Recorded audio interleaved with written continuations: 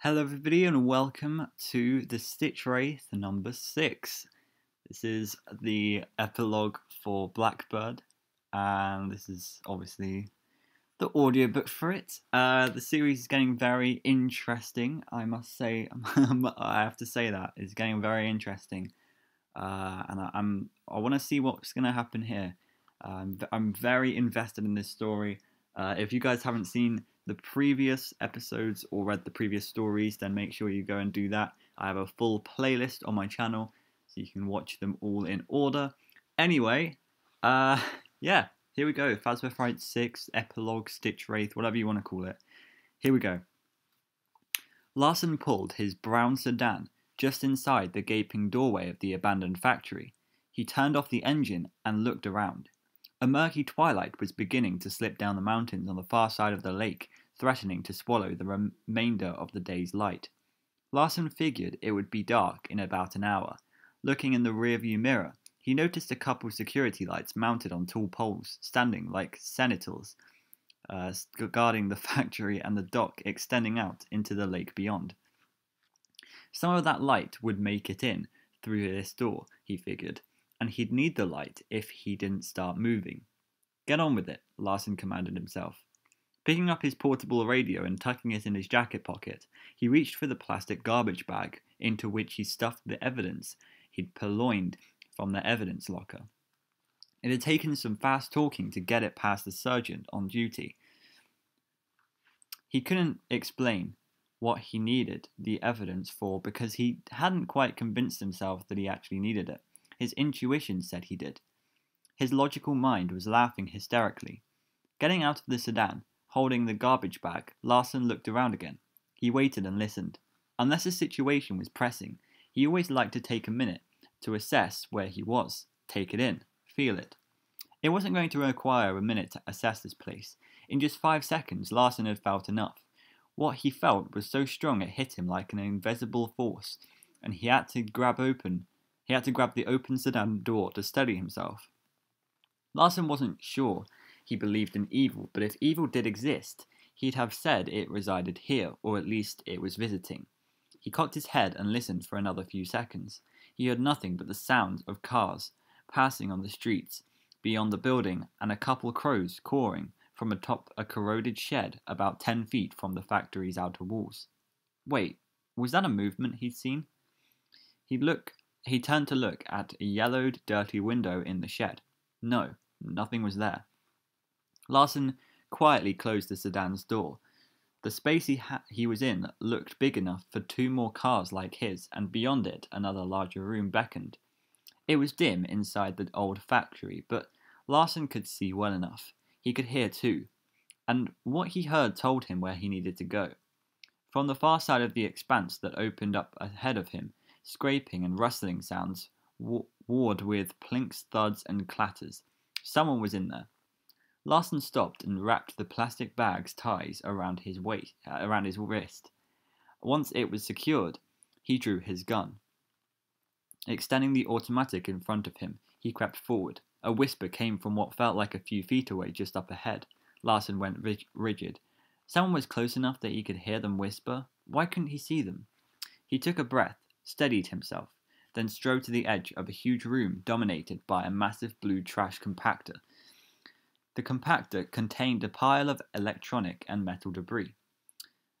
And next to the compactor chute, his quarry stood. A strange cloaked figure, Larson muttered.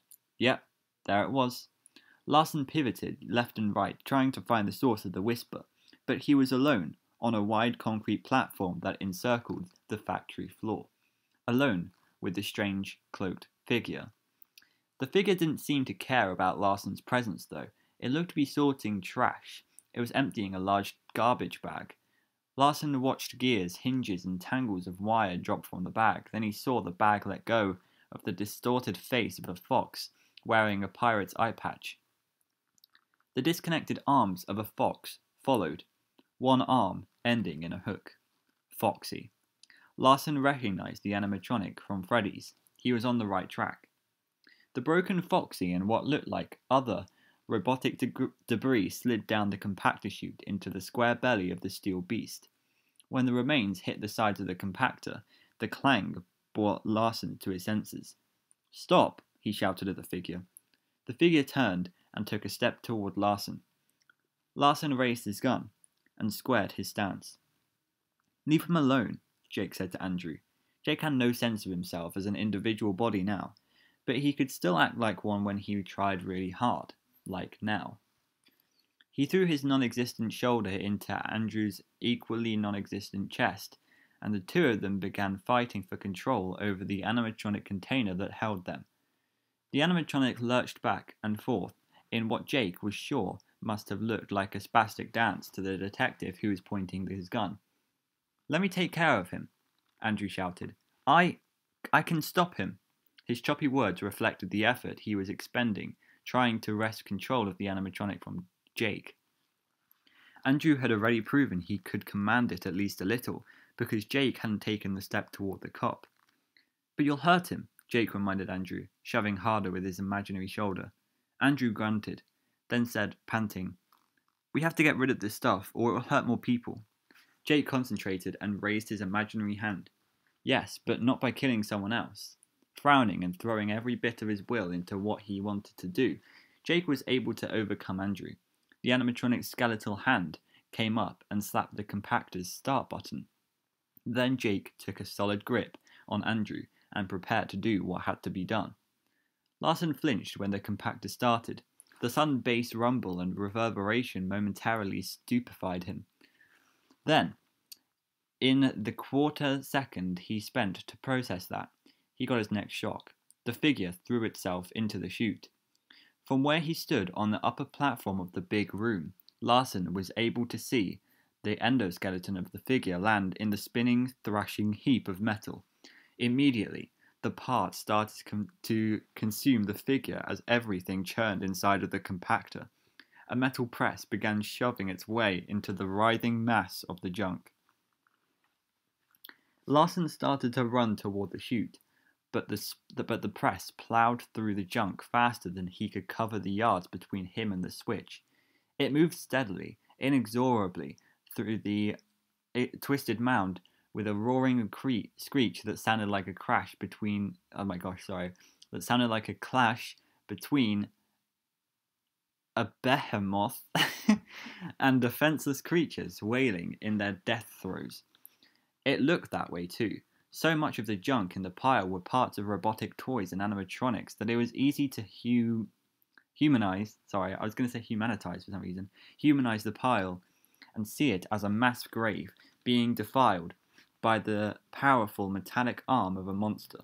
All Larson could do was stand and watch the compactors destroy the parts that had made up the cloaked figure and everything it had been collecting. As soon as Jake and Andrew landed in the compacting junk, the baseball field returned to Jake's consciousness. He heard his dad laugh, and he tasted a fresh peanut, and he felt himself begin to float free again. Jake resisted, focusing intensely on the junk surrounding him. He couldn't leave Andrew. The memory was so strong, though, even as he put all his attention on the junk. His dad's face and the warm sun buoyed him. Andrew, grab my hand, he shouted. Andrew reached up. As soon as he did, too, began to disconnect from the endoskeleton. Jake was so relieved, so thrilled, that he let the memory embrace him again. He and Andrew both began to move away from their physical confines, as if they were being carried by a sleek, swift sailboat toward that wonderful sunny day in the baseball field, but only for a few seconds. Then Andrew was tugged downward. He was being yanked toward the infected robotic parts below. No! Jake shouted. He tried to hang on to Andrew, but the force resisting him was so strong. Jake looked down. Below him, a bizarre presence of colour and movement was brawling with everything in the compactor, including the animatronic Jake and Andrew were in. This chaotic collection of muddy brown, dirty yellow, and shocking red pulsed with rage. Come on, Andrew, Jake called. I'm trying, but I can't. Something's got me. Andrew called back. Jake felt like he and Andrew were being stretched between two forces. From somewhere beyond this dirty factory, the good feelings of Jake's memory boosted them. From below, density roiled around Andrew, keeping them anchored. Jake thought the density was Andrew's pain. Then he realized he was wrong. It had nothing to do with Andrew. Andrew, Jake said, there's something else in here with us. It's him, Andrew cried out. He sounded terrified. Jake focused harder on his memory. He ate a hot, salty peanut, and he looked into his dad's warm, happy gaze. Larson couldn't move. He was mesmerized by the compacting junk and by the inexplicable light rising from it. What was that? He realized he was still aiming at the crumpling, deconstructing Stitchwraith and holstered his gun. He rubbed his eyes. Was he seeing things? It looked like a faint aurora borealis uh, was rising up from the convulsing junk. Yes, Jake cried. Andrew was breaking loose.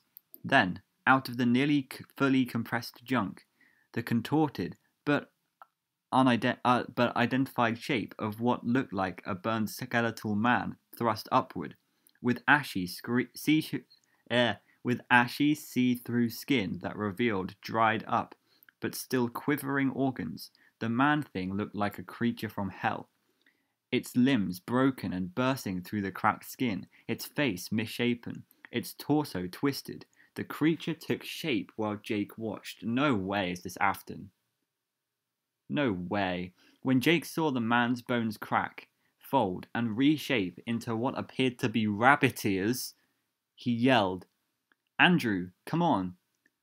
Rabbit ears unfolded from the back of the creature's skull and stretched upright, and the creature heaved itself toward Andrew. Jake had hold of Andrew, and he was sure all but the just the tiniest amount of Andrew's essence was in his grasp, but the creature was trying to keep hold of his friend.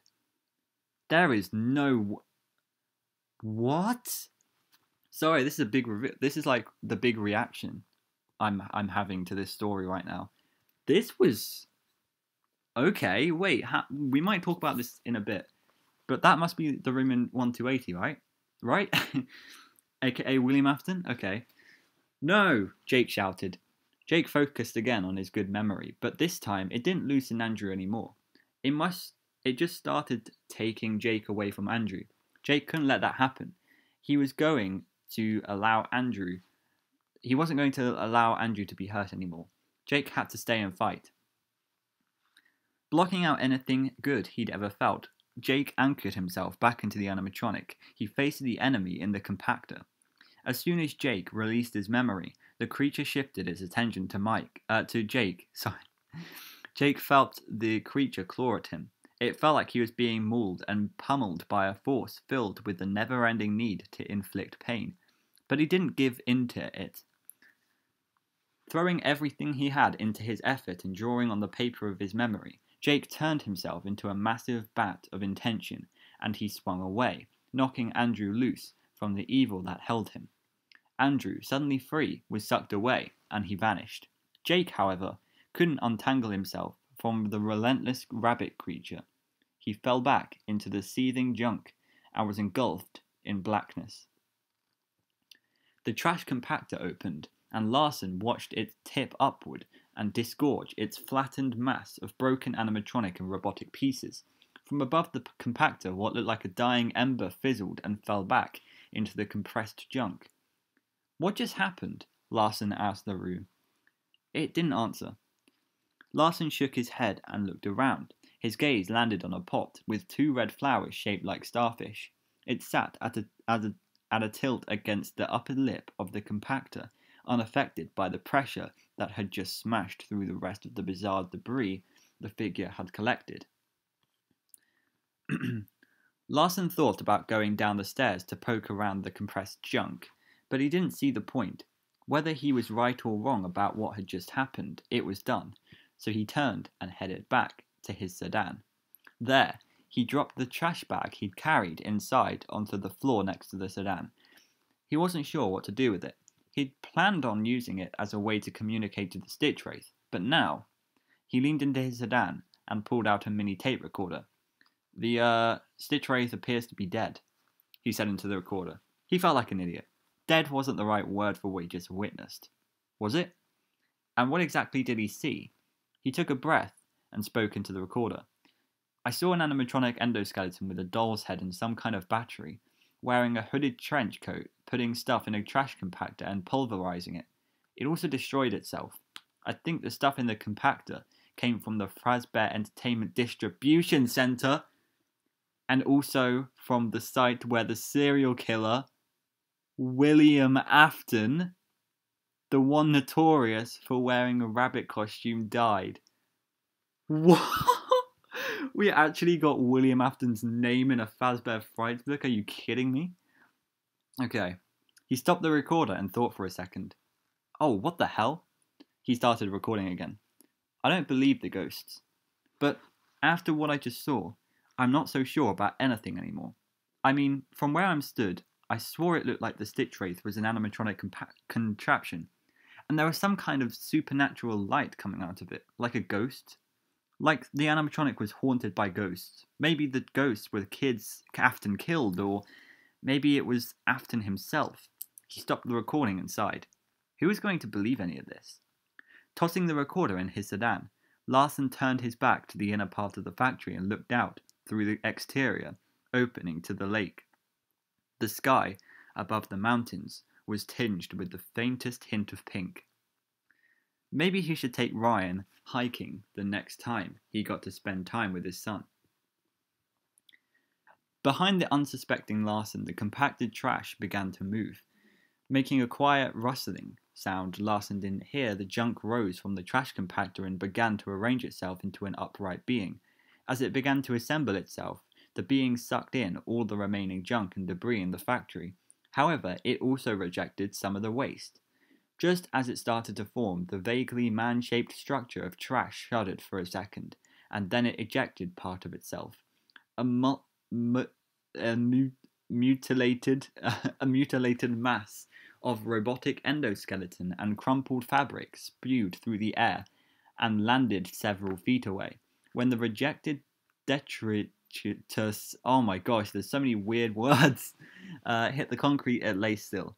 The rest of the trash from the compactor continued its transfiguration. It formed itself out of animatronic body parts, but not in any logical way. They were joining all hay- haywire.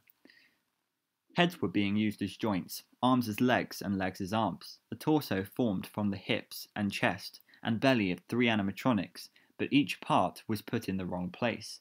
Hands were inserted at random all over the structure. Woven through all these misplaced pieces were wires and gears, which created a lamp- labyrinthine uh, circulatory system connecting hinges to gears and screws and nails to eyes and noses and mouths. With each additional piece clamping into pace, place, um, the miscreation stood taller and taller until it was nearly 15 feet tall. Then, looming over the detective, it leaned to the side and lifted a macabre macabre head up to the neck made from shins. The neck, uh, oh my gosh, the head, like the rest of the being, was made from animatronic parts fingers, toes, wires, hinges. Within those parts, two gaping black holes looked out at the world with pure malevolence. And from the top of the unnatural structure, what looked like two rabbit ears made of even more animatronic parts unfolded and canted forward. They were aimed right at the detective. Oh, oh, that was an eventful one. Oh, I love that. The worst part about this is that's the end for me right now, today. Uh, I mean, we're, we're getting the next part in like a week, but that's amazing. That's so good. Okay. Why haven't I read read these earlier? Why? Um, like this is the best part of the Fazbear Frights books now. Um, very interesting. We got William Afton's name in Fazbear Frights books, so he exists in this universe. So it's it it might not even be a different universe. It's literally just people paralleling each other. Like for example, uh, Pete in Step Closer um, might literally just be a parallel, but not in a parallel universe. Like Pete exists in the same universe as the game universe, but he's just a parallel to Michael Afton. Huh. That's interesting. That's very interesting. or it is just a massive parallel, and William Afton still exists in this parallel universe. I actually that might be that might be it. but either way, I did not expect the man in room 1280 slash William Afton to be in this story. Wow. Okay, that was a big reveal. Um, and also, he's making a, a, like a massive rabbit structure animatronic thing. Uh, I wonder if that is who the arm is in the security breach trailer at the end. That's that's possible. I think that's possible. Anyway, um, I'm gonna have to leave that there. Thank you so much for watching. If you did enjoy, then please do like and subscribe. The next part will be coming very soon, so uh, make sure you're on the watch out for that. And I will see you later. Goodbye.